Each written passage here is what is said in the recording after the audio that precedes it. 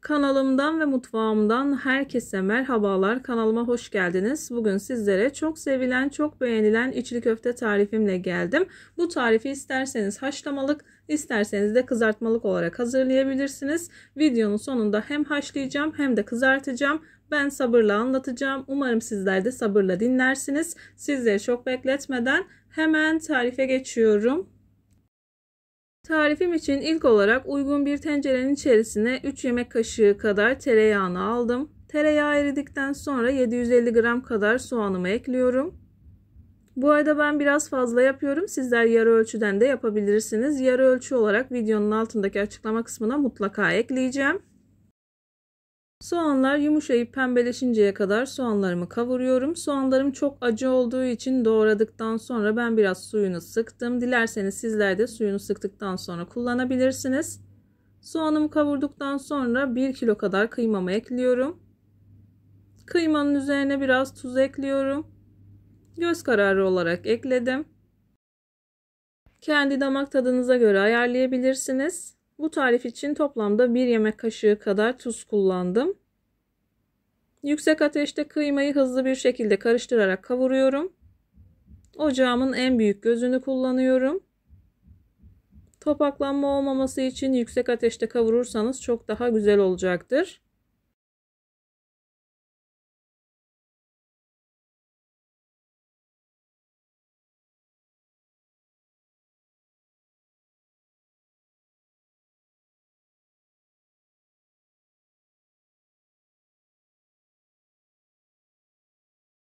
Kıymayı bu şekilde 4-5 dakika kadar güzelce kavurdum. Kıymanızı yakmamaya dikkat edin. Suyunu tamamen çekip kavrulduktan sonra 1,5 yemek kaşığı kadar biber salçası ekliyorum. İsterseniz biber domates karışık kullanabilirsiniz veya hiç kullanmaya da bilirsiniz. Tamamen damak tadınıza göre ayarlayabilirsiniz. Salçayı ekledikten sonra salçanın kokusu çıkıncaya kadar kavuruyorum.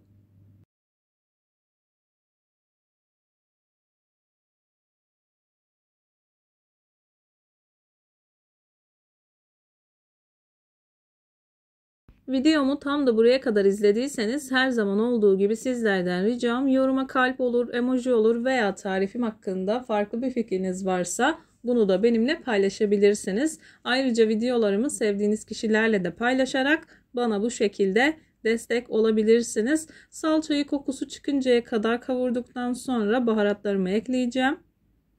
İstediğiniz baharatları kullanabilirsiniz. Ben bu tarif için karabiber ve pul biber kullanacağım. Eğer seviyorsanız kişniş de ekleyebilirsiniz. Kişniş de gerçekten çok yakışıyor. Soğuduktan sonra isteğe bağlı olarak ceviz ekleyebilirsiniz. Baharatların lezzetini vermesi için 2 dakika kadar bu şekilde karıştırıyorum. Bu arada ocağımın altını kapattım. İyice karıştırdıktan sonra soğuması için borcama aktaracağım.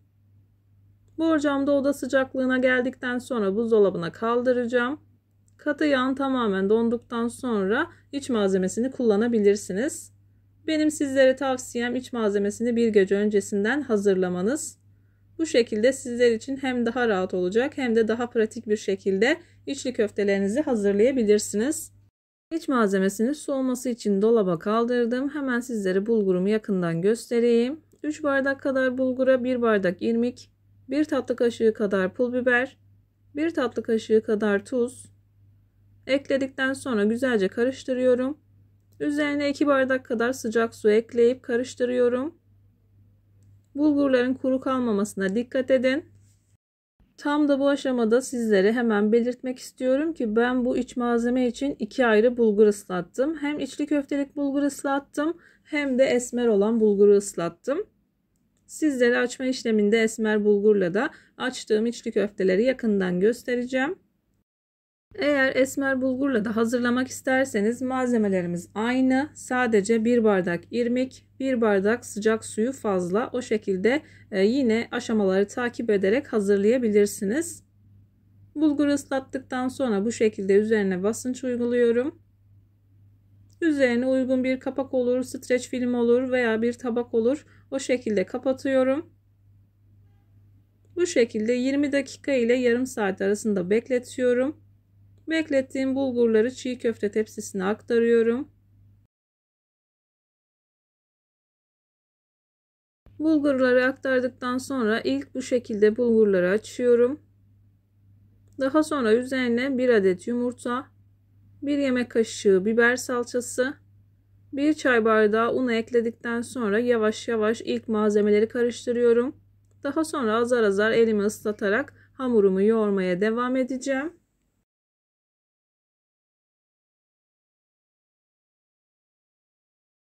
Malzemeleri bulgura güzelce yedirdikten sonra elimizi azar azar ıslatarak hamurumuzu yoğurmaya başlayabiliriz. Hamurum biraz az olduğu için ben bir öncesinde yapmış olduğum e, çok hamurdan sizlere yakından göstereceğim. Bu şekilde daha anlaşılır olacaktır. İsterseniz ölçüyü iki katına çıkarttıktan sonra yine aynı bu şekilde hamurunuzu hazırlayabilirsiniz. Bu çekimi eşim yapmıştı. Biraz bazı yerlerinde yakın çekim yapabilmişti. Eşim olmadığı için ben e, diğer hamuru çok fazla çekemedim. Hemen sizlere bu şekilde yakından göstereceğim. Elinizi ilk başta hamuru ıslatırken biraz fazla su alsanız da sona doğru biraz daha az su kullanmaya dikkat edin. Bu arada kullanmış olduğum su çeşmeden su doldurdum. Kesinlikle sıcak veya ılık su ile yoğurmuyorum. Hamurum toparlanmaya başladı.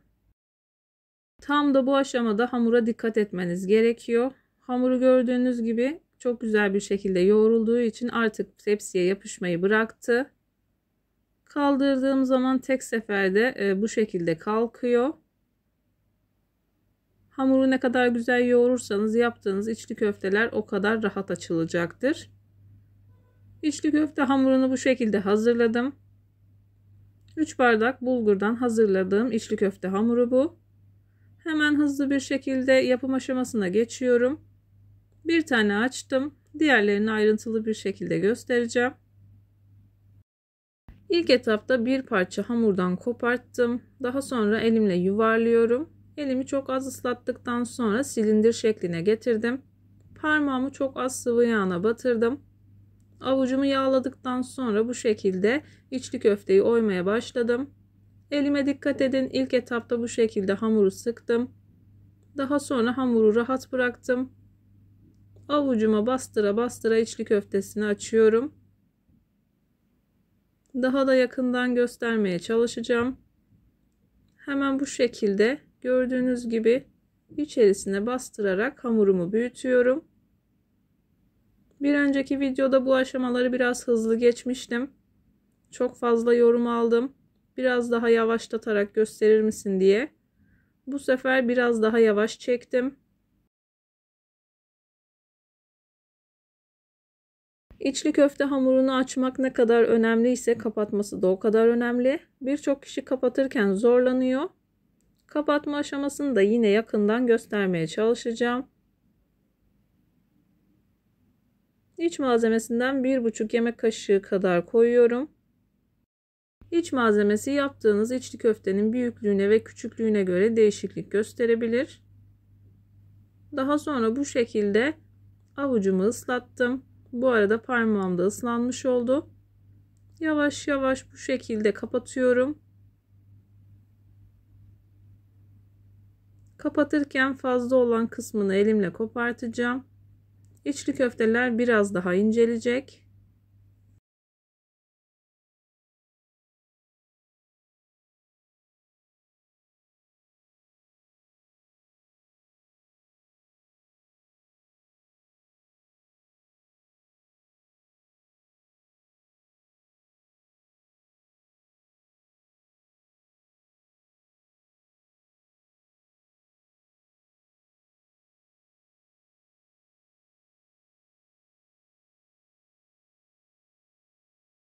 Hemen bu aşamada belirtmek istiyorum. İçli köfteyi sadece ilk etapta açarken parmağımı sıvı yağ batırıyorum.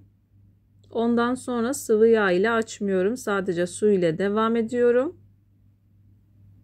Sıvı yağ sadece ilk etapta bulguru sıkıştırıyor. O yüzden kullanıyorum.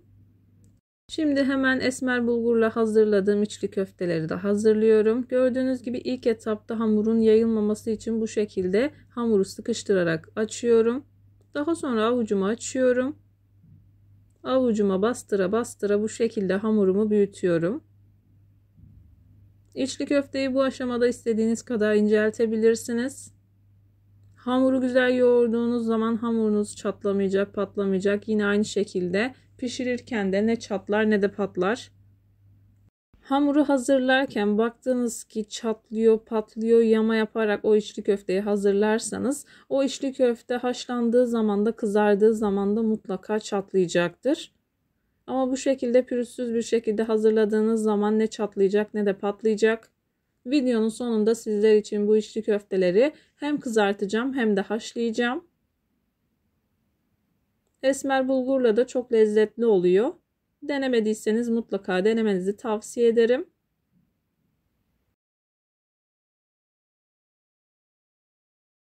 Bir tane de esmer bulgurla hazırladıktan sonra yere oturdum. Ben normalde yerde yapıyorum arkadaşlar. Sizler daha ayrıntılı bir şekilde görün diye masada da iki tane gösterdim. Hamurdan bir parça koparttım. Elimi ıslattım. Hamuru silindir şekline getirdikten sonra ilk etapta bu şekilde sıkıştırarak hamurun çok fazla yayılmasını engelliyorum. Daha sonra elimi suya batırdım. Avuç içine bastıra bastıra bu şekilde içli köfteleri büyütüyorum.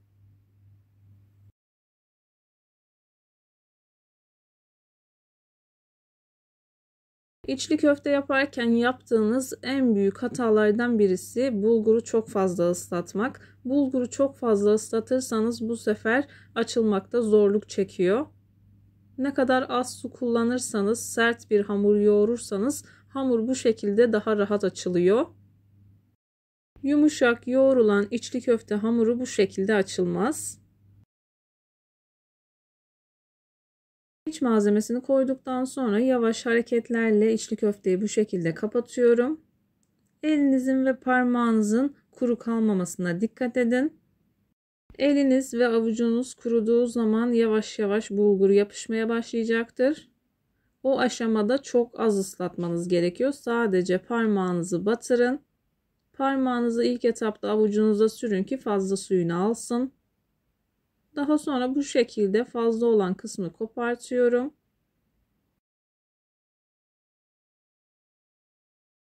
köfte açarken baktınız küçük küçük çatlaklar görüyorsunuz.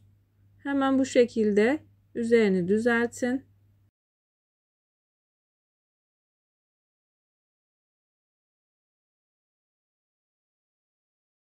Şimdi ben bu aşamadan sonra konuşmayacağım. Sadece izlemek isteyenler için bu şekilde ilk defa deneyenler için e, yapım aşamasını yavaş yavaş göstereceğim. İzlemek istemeyenler de hızlı bir şekilde kızartma ve haşlama e, aşamasına geçebilirler. Umarım sıkılmadan izlersiniz.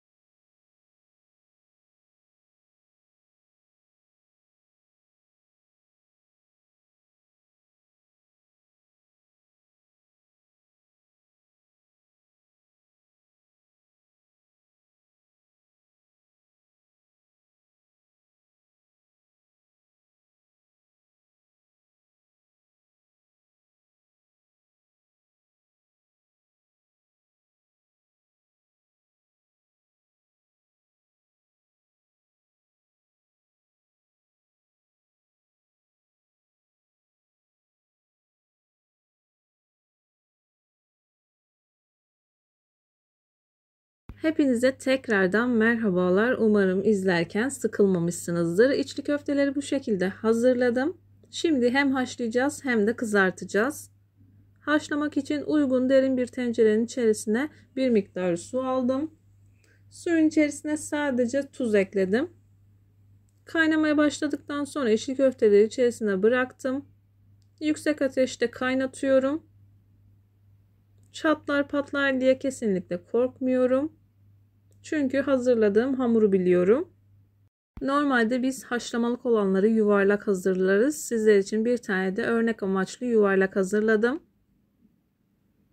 Yine aynı zamanda e, muska şeklinde hazırladığım içli köfte tarifi de kanalımda mevcut. İsterseniz onu da izleyebilirsiniz.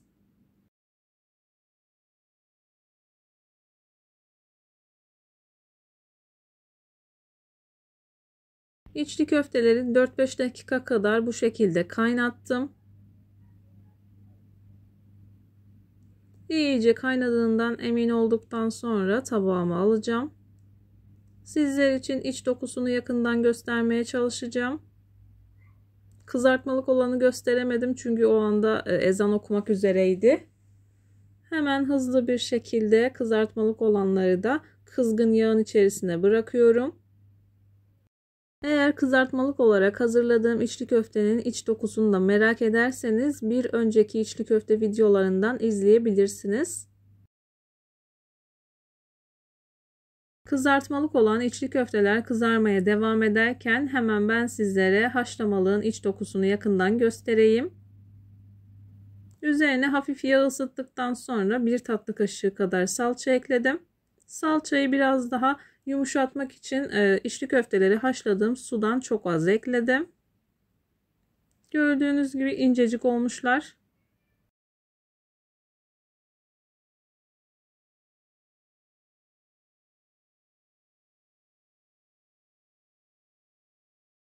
Şöyle bir yakından da göstereyim. Gerçekten mükemmel oldu. Tarifi gönül rahatlığı ile deneyebilirsiniz. İnşallah sizin yaptığınız içli köfteler benim yaptığım içli köftelerden çok daha güzel olur. Videonun sonuna da dondurucuya kaldıracağım içli köfteleri ekledim. Hafif tepside dondurduktan sonra o şekilde buzdolabı poşetine aktarıp dondurabilirsiniz. Sizler içli köftenin güzelliğini izlerken bu arada ben de sizlere veda edeyim. Bir videonun bir tarifin daha sonuna geldim. Umarım tarifimi izlerken sıkılmamış, aksine keyif almışsınızdır. Videomu beğendiyseniz beğenmeyi, kanalıma hala abone değilseniz bu videodan sonra kanalıma abone olmayı, bildirim zilini açmayı lütfen unutmayın. Kendinize ve sevdiklerinize çok iyi bakın. Başka bir tarifte, başka bir lezzette görüşmek üzere. Hoşça kalın. Allah'a emanet olun.